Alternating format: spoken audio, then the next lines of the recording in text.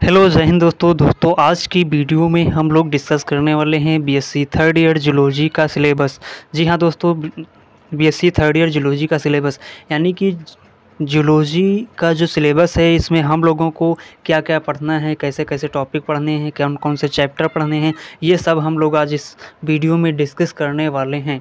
यानी कौन कौन सा इसका क्या क्या पूरा सिलेबस है, वो हम लोग आज इस वीडियो में डिस्कस करने वाले हैं। तो चलिए वीडियो करते हैं फटाफट शुरुआत। तो दोस्तों सबसे पहले मैं आपको बता दूँ बीएससी की जितनी भी सब्जेक्ट होती हैं हर एक सब्जेक्ट में तीन तीन पेपर होते हैं और हर एक पेपर में आपको चार चार यूनिट्स पढ़नी होती हैं।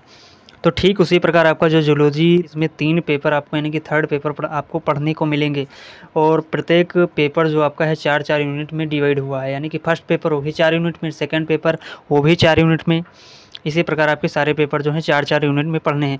तो पेपर फ़र्स्ट का आप नाम है अप्लाइड एंड इकोनॉमिक जियोलॉजी इसमें यूनिट फ़र्स्ट में आपको पढ़ना है पैरासाइटोलॉजी पैरासाइटोलॉजी इसके अंतर्गत दो एनिमल आपको पढ़ना है। पहला आपको पढ़ना है ट्रिपेनोसोमा गार्डिया एंड दूसरा पढ़ना है वुचेरिया जैसे आप लोगों ने पढ़ा होगा बीएससी फ़र्स्ट ईयर में प्रोटोजोआ के दो एनिमल, एक आपका हो गया पैरामीशियम दूसरा हो गया युगलिना। ठीक, उसी प्रकार आपको यहाँ पर पढ़ना है। तो यहाँ पर जो आपको ट्रिपेनोसोमा गार्डिया है आपका प्रोटोजोआ का है और जो वुचेरिया है निमिटोडा का है।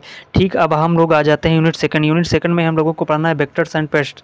इसके अंतर्गत हम लोग गंधी, bug, sugar leafhopper rodents termites, यानी कि दीमक, मास्कीटो, मच्छर, ये जितने भी जीव हैं, इन लोग इन जीव की, इन एनिमल्स की जो लाइफ साइकिल होती है, वो हम लोगों को पढ़ना है एंड देयर कंट्रोल्स और इनको कैसे काबू करें, इनको, इन पर कैसे नियंत्रण पाएँ, ये सब हम लोग इस यूनिट में पढ़ेंगे। थर्ड यूनिट में हम लोगों को पढ़ना है एनिमल ब्रीडिंग एंड कल्चर यानी कि एनिमल का जो प्रजनन काल होता है, उनका कल्चर कैसे क्या है, ये हम सब लोग पढ़ेंगे यूनिट थर्ड में। इसके अंतर्गत एक्वा कल्चर यानी दूसरा आपका आता है पीसी कल्चर पीसी कल्चर के अंतर्गत हम लोग मत्स्य पालन करेंगे, फिर पोल्ट्री फिर सेरी कल्चर रेशम उत्पाद apiculture lac culture lac culture यानी कि लाख उत्पादन कैसे हम लोग करेंगे, ये यूनिट थर्ड में पढ़ेंगे। फिर यूनिट फोर्थ आती है, इसके अंतर्गत हम लोग वाइल्ड लाइफ ऑफ़ इंडिया यानी कि भारत के जितने भी वन्य जीव हैं उनको हम लोग इस यूनिट फोर्थ में पढ़ेंगे।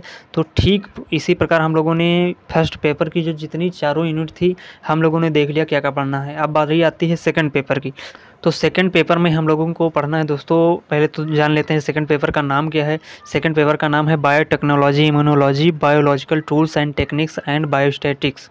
ये हमारे पेपर सेकंड का नाम है। इसके अंतर्गत जैसे पेपर फ़र्स्ट में चार यूनिट थी, उस ठीक उसी प्रकार इसमें भी चार यूनिट हैं। तो पहली यूनिट है आपकी बायोटेक्नोलॉजी बायोटेक्नोलॉजी यानी इसको हिंदी में कहते हैं जैव प्रौद्योगिकी इसके अंतर्गत जेनेटिक इंजीनियर यानी कि अनुवांशिकी अभियंत्रिकी कैसी होती है, ये हम लोग पढ़ेंगे इसके अंतर्गत। बायोटेक्नोलॉजी फ़ूड प्रोसेसिंग यानी कि खाद्य संसाधन की जो जैव प्रौद्योगिकी है, उसको हम लोग पढ़ेंगे। सेकेंड यूनिट आती है इम्यूनोलॉजी इम्यूनोलॉजी यानी कि प्रतिरक्षा विज्ञान। जो होती है, उसको हम लोग इम्यूनोलॉजी कहते हैं।